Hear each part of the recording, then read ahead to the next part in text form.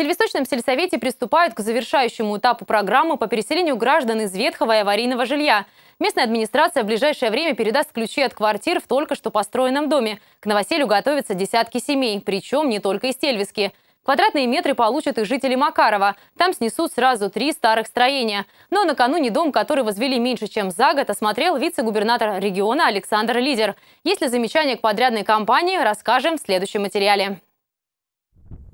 Раздельный туалет, ванная комната, центральный водопровод и даже полы с подогревом новый дом в селе Тельвиска возвели всего за несколько месяцев. При этом строили не из монолитных блоков, использовали кирпич. Технология, проверенная на крайнем севере десятилетиями. Не обошлось и без новшеств. Рабочие подрядной компании в каждой квартире установили индивидуальные приборы отопления, современные газовые котлы. Это значит, что собственники смогут экономить на коммунальных платежах. Вице-губернатор Александр Лидер интересуется у своих коллег, есть ли замечания к застройщику компании «Инноватор» момент, связанный с неэксплуатацией дома, и, да, может вызывать как раз вот, э, отслоение линолеума где-то побои. Поэтому э, к окончательной передаче, если будут какие-то претензии у жителей при заселении, естественно, они будут устраняться по в рамках гарантийных обязательств. В доме 24 квартиры, больше всего трехкомнатных, площадь каждой 62 квадратных метра. Теплые и просторные, то есть с планировкой у жильцов не должно возникнуть особых проблем. Чего не скажешь о входных дверях. Качество оставляет желать лучшего. Впечатление очень, очень хорошее. Есть некоторые, конечно,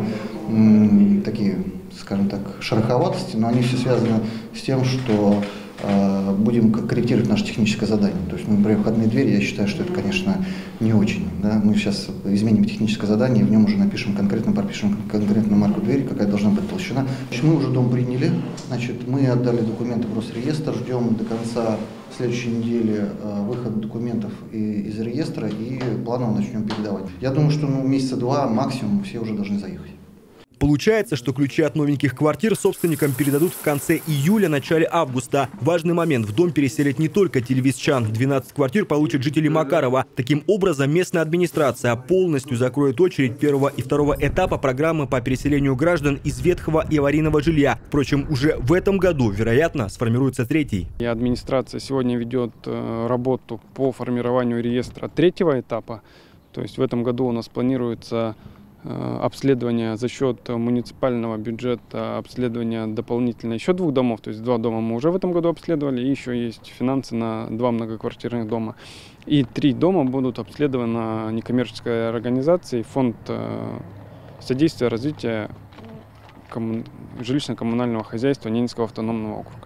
Между тем, существует сегодня в муниципальном образовании и очередь на социальное жилье в списке порядка 30 человек. Региональные власти заявили, в ближайшее время на месте деревянной двухэтажки, которую вот-вот расселят и снесут, начнется строительство нового дома, а это еще как минимум 20 квартир.